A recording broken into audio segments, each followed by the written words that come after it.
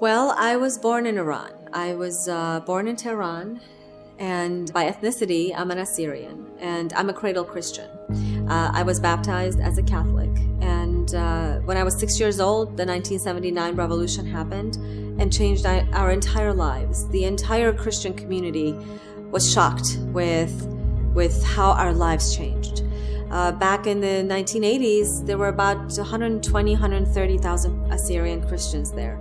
Today, we have about 10,000 left. Do you believe that? Everyone has escaped. Uh, we were considered uh, as third and fourth class citizen. As a woman, I was a fourth class citizen. And um, I was told that I would burn in hell for my Christian name. You know, I remember there were so many times in school that I was cornered and I was uh, kids my own age would scream at me and tell me say the verse say the verse that would convert you to Islam. And I would I was maybe 12 11 years old and I would refuse to do so. Because I knew I knew by saying that one verse I would renounce my Christ. And um, my father said you know this is not a country that I want my child to be raised in. You as a woman would not have uh, too many rights, and our religious freedom is being impeded on. And uh, I was smuggled out. If I was caught, I would be sent back to Iran, and I, God knows, only God knows what would have happened. So in Germany, we um, sought religious asylum, and we were blessed to be accepted to the United States. I came here 24 years ago, and um, I'm a humanitarian at heart. I strive to live a Christ centered life. And when I see injustice, discrimination, and persecution around me, it is to me sinful if I don't stand united in solidarity with my people. And it is your duty, our duty, my duty as a Christian. And Christ Himself commanded to feed the hungry. Because at the end of the day, when we're blessed to stand in front of the Lord, He will be pleased with how we have lived our lives and how we've given back to his children. When America went to Iraq and the, the borders became vulnerable and Al Qaeda found a safe haven in Iraq, my people started being massacred. They were uh, bombed when they were worshiping in church.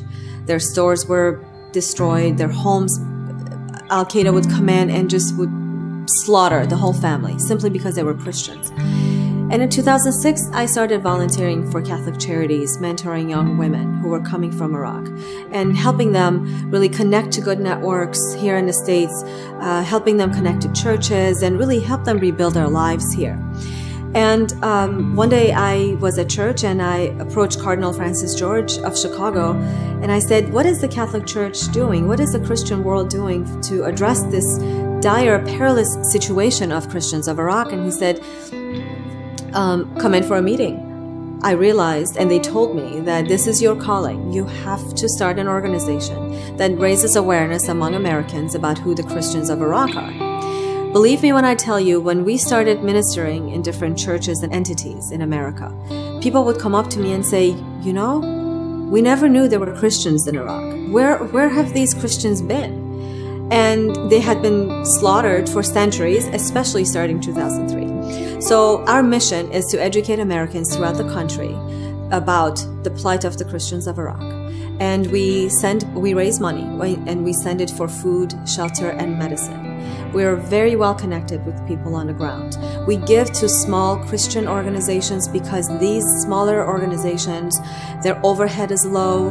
They really turn that $1 that we send to $5. And they do a lot of heavy lifting we really, really try to support and we hold these people accountable, these organizations accountable to where is the money being spent? Who do you give it to? So we're, because of our connections with people on the ground, um, we're able to do, through the Holy Spirit, we'll, eh, we're able to do great work on the ground.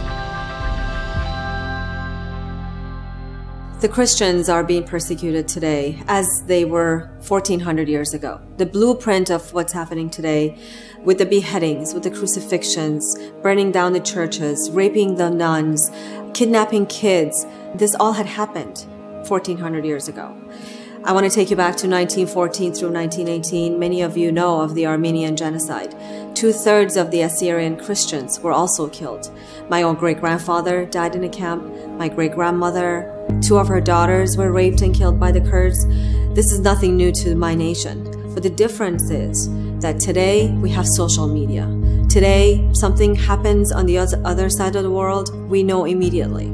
And that's why knowledge bears responsibility. It's very important for the world to stand up in solidarity with the members of body of Christ. These are not people, just a number in, in a black hole called Iraq. They're, they're just like you and I. They really need our help. When ISIS rolled into town a few months ago, church bells started ringing. Not because they were spreading the good news, not because they were asking people to come to church. They were ringing the bells for people to flee, to flee homes that they've worked for for so long to have, their farms, their stores, the land that they have called home for over 6,700 years. ISIS came in and gave three options pay tax called a tax called jizya uh, convert to Islam or die or leave. Those who chose to leave, they fled with the clothes on their back. If they had phones, if they had fake jewelry, if they had jewelry, they were taken from them at the checkpoint. They were attacked while they were walking, or their cars were taken away from them. Those who chose to stay and refused to renounce Christ, they were beheaded, executed, women raped, these women are being sold for $300, $400, $500 in sex slavery. The one thing that Christians in Iraq ask me to relay to the world is why is it that the Western church is silent? But above all, they say, we believe in Jesus Christ, our Savior, our sovereign Lord. And to the point of death, even, we will not renounce Him. Just not long ago, four children outside Baghdad were beheaded when ISIS asked them to renounce Christ and to believe in Muhammad. Kids younger than 15, they said, We believe in Yeshua, Isho in Aramaic, Jesus. And they brutally were murdered. What is their fault? So why are we silent today?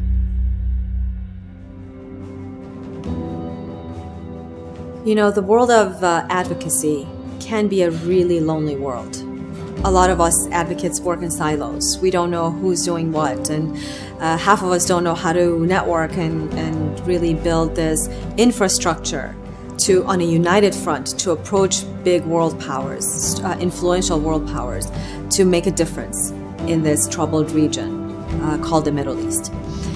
Through the Iraqi Christian Relief Council's work with the persecuted, uh, we're blessed to be connected to Philos Project. What sets Philos apart is that they're targeting the younger group, the younger crowd, who are on fire, who are really Christian at heart, and they really want to make a difference. And that's the segment of population that we were missing. And I'm very proud to be a part of uh, Philos, Philos Project now and be a fellow for them and really serve them as we're working together. Uh, the Philos Project is an important entity which is going to nurture and really give the tools to the young leaders of tomorrow to understand culturally who the Middle Eastern Christians are, understand the this complicated mosaic called the Middle East, and really help them understand what they can do, empower them, give them the tools to make a difference.